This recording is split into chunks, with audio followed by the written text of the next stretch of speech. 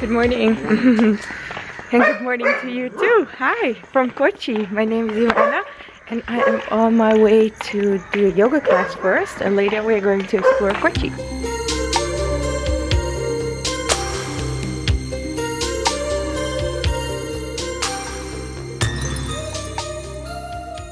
Yo, your girl is doing the pigeon pose for the first time. Thank you. Look at this.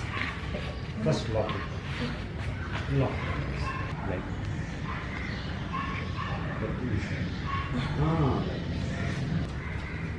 Oh, this is so nice.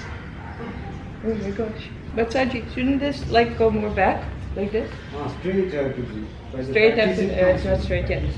Okay, okay. Not one Okay. Okay, okay. We just finished the yoga class and can you hear the sounds over here? Exactly, it's just nature. No honking, no, well, no honking. Because that's what you hear in most other Indian cities. No people yelling or anything. Also, look at this. Bananas in Saji's yard over here. I think these are papayas, I'm not sure. Palm trees everywhere. Kochi is palm tree paradise, man. I love it. No, puttu. Oh my gosh, this is so good. Also mashed with banana. Mmm, love it. Sprouts. I don't know what that is. I think that's dessert. Beets, dal. Look at all this healthy food, man. So this is what stood out to me the most last year when I compared the south to the north. Guys wearing lungis. Lungis it's called, right? The cloths. The loin cloths. Finished some work and it is now 4 p.m. The temperature is manageable. Just like in the desert, do not go out in Kochi between 12 and 3 because it's hot. And when I say it's hot, it's really, really hot. Right now, it's perfect. Like my my ideal temperature is right now. I will first take you to the touristy part today and tomorrow we can go to the non-touristy part which is my favorite. This is KB Jacob Roads, one of the main roads and also the bus from the airport arrives on this road. Over there, this is something I would really really not recommend to foreign girls, especially if you're blonde in India in general, don't don't wear shorts, please. Like you're making life harder for yourself. You can do it. The police will not arrest you, but you're just making life harder for yourself. We are going, well, let me take you this way to the church. I'm probably gonna get a lot of ish for saying that from Indian men who say like, we're not animals, we can control ourselves. I know, honey, I know. But I also know shorts are not normal in India. Also from very, you know, uh, feminist so female solo travelers. Ah, I should be able to wear whatever I want. No. Yes, honey, you can. Of course, but you're making life harder for yourself. You can do whatever you want, but don't complain afterwards that you're not having a good time in India because everybody's staring at you. And again, look how quiet this road is. No traffic, barely honking. Kochi is so peaceful compared to all the cities where I've been.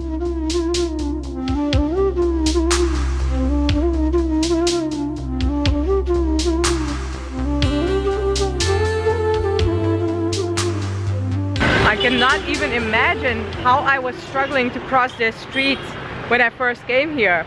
Now I'm like, what is this? Like, you can walk whenever you want. the ATM situation, by the way, is getting very interesting because I ran out of uh, fluid for my contacts. And you need money to buy that, you know? So I do have some dollars with me which I can maybe exchange but it would be nice to find a working ATM. Also one big contrast to the places where I've been until now is that the houses in Kochi are huge. Look at this house. Of course not every house but they have so much more space and they build bigger houses. Kerala is also the home of Ayurveda. Well, I don't know if it's the home but they're very very specialized in Ayurveda and treatments and stuff like that. Kerala is also a place where um, Kathakali is a traditional dance from Kerala. And it's quite special. I went there last time.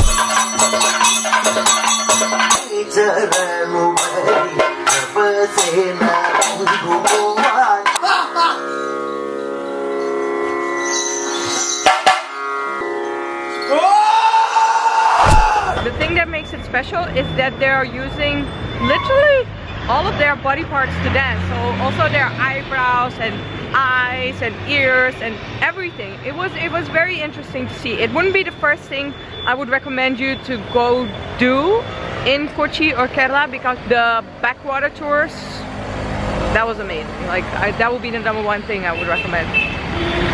There we go, a little bit of honking. I was already starting to feel like I'm not in India anymore. Where's the honking? This is what we are going to visit first. Santa Cruz Cathedral Basilica. The cathedral from the outside. Oh, this is actually a really nice time to visit with the sun. Can you see that? It's very, very beautiful from the outside and also from the inside. I'm not filming the inside because that's something you should see for yourself. Also, I don't film in churches, temples, whatever. Last time I was here, this building behind me, there was a wedding and I crashed a Christian wedding. So not a Hindu wedding, a Christian wedding. And for those of you guys who've been saying, Ivana, watch a Malayalam movie, blah, blah, blah, from the south, I watched Premam last year without subtitles and this girl at the wedding, she was teaching me the Premam dance on freaking stage.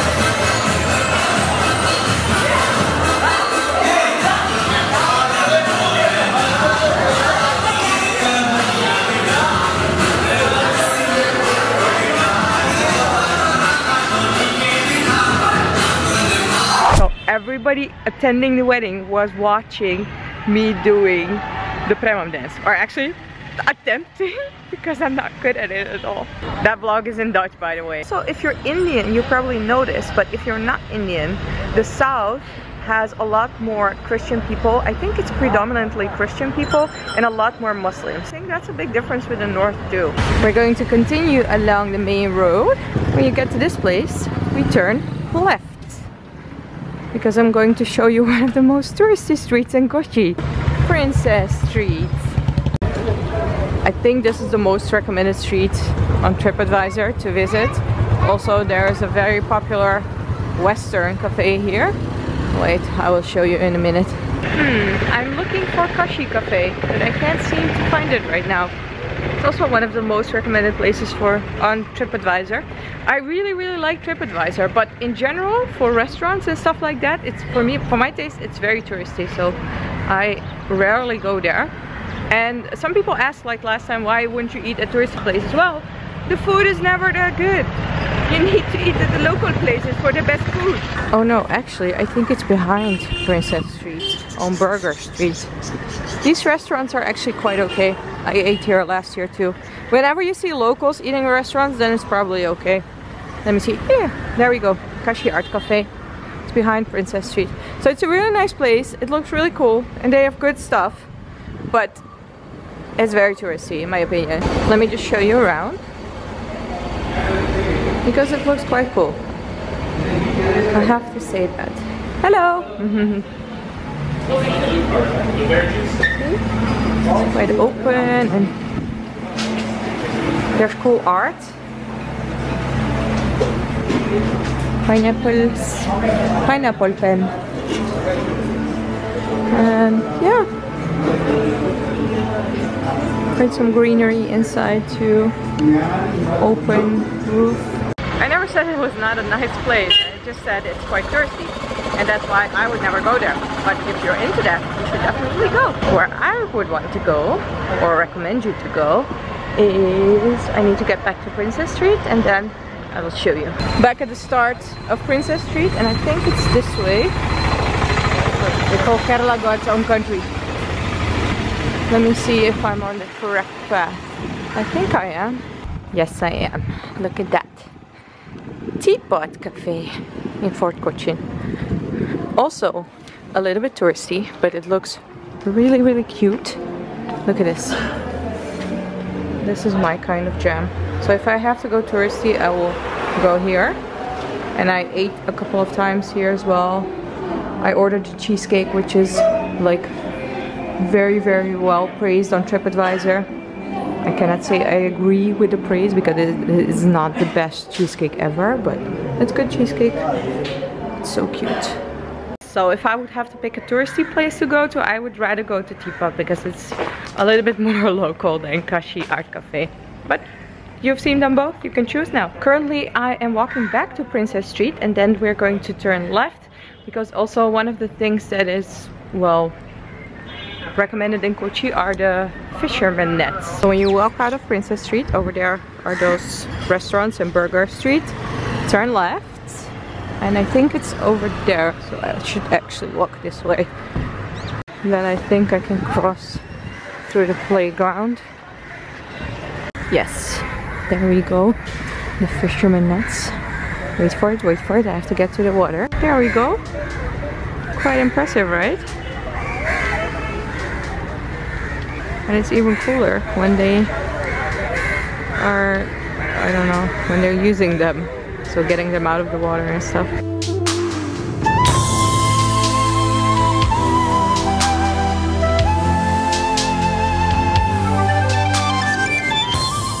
There are actually quite a lot of those.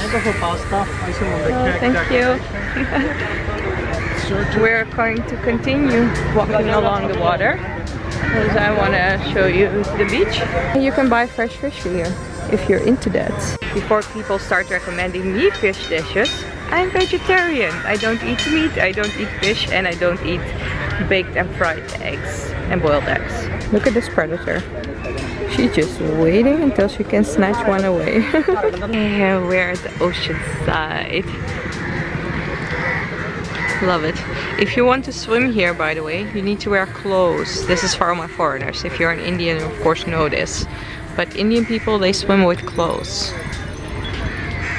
So wear a t-shirt and pants.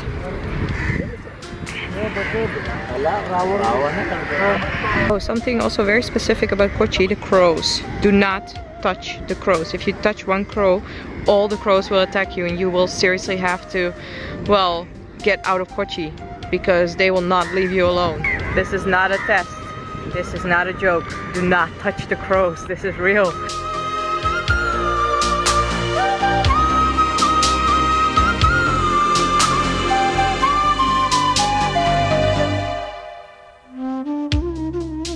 Just going to continue walking along the beach into that direction.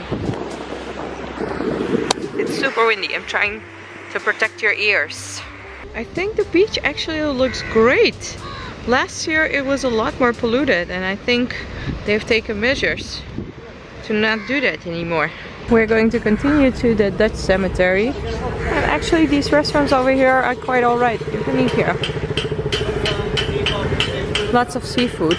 Fresh seafood if you're into that. Last time I didn't visit the Dutch cemetery, I just walked past it because I'm not a massive fan of visiting cemeteries just in general. I don't want to see dead people. but um, yeah, we can walk past it and I can just show you. Kerala is so green. But my favorites are the palm trees, the endless palm trees. Love it. Apparently I can't even find the Dutch cemetery. That's how interesting I think it is. Ooh, this wall is pretty though. Look at that. I think that's it. That's the most thirsty part of Fort Kochi. It's not that big to be very honest. And you can just walk around. This took me maybe an hour from my homestay to get here and just walk around and everything. Yeah, you can of course hire a rickshaw. It's good for their business. And also when it's hot, you might not want to walk around.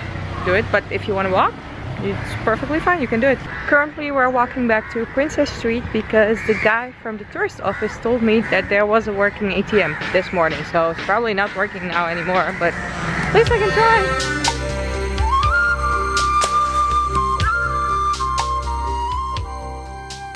When you get to the main road, cross the road, and over there you can see, wait, wait, wait, wait, traffic here is not crazy, but we still don't want to get hit by a bus. Yes, so you can see the place already getting a lot more colorful. Just the way I like it.